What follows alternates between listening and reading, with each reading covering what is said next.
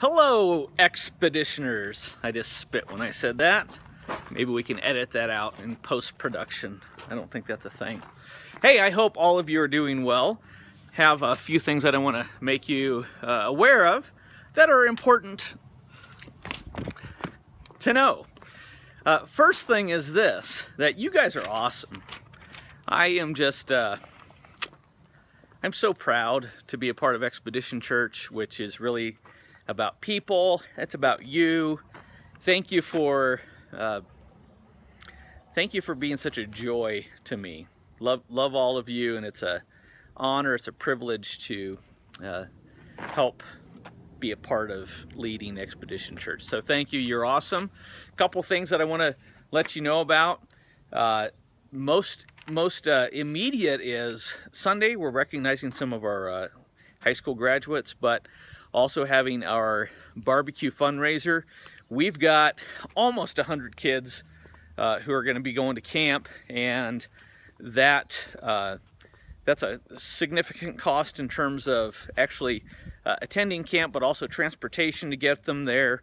Sometimes students don't have uh, the money required and they all have to give a little bit, but sometimes that can be that can be costly. And so if you want to be a part of this really what is a life-changing experience, then we are our youth, our middle schoolers, high schoolers are funding, or excuse me, are hosting a barbecue fundraiser Sunday. So after the second service. Second service gets done noonish, give or take.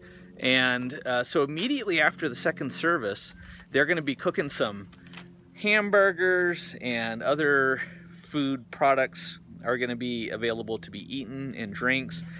And so uh, you you can either just drop in some money, write a check. You don't even have to eat it's really a way for them to serve you and then for us to help financially support them to camp. That is this Sunday, immediately after the second service. So if you go to the first service, uh, come back, and then if you go to second service, just stick around, and it'll be it'll be a good time. Uh, also, I have to look at my notes here. Uh, June 9th. June 9th. May is almost done. June 9th. I believe it's the first or near nearly the first Friday of uh, June from 6 to 8 p.m. we are having a pool party. Pool party. Uh, it is a Friday night and we're theming it out. It is a Hawaiian luau and let me just tell you we've got some great surprises. We need you to wear some of your best luau gear, whatever that is. Uh, we are providing the food, the main course, we need you to bring desserts, homemade desserts, and we're gonna have a dessert contest. So put some love into it, make something, bake something, create something uh, for the dessert. We're gonna have a few judges who are uh, deciding on what the best dessert is, but it's a Hawaiian luau. It's gonna be a great time at Taylor Pool, uh, June 9th from 6 to 8 p.m.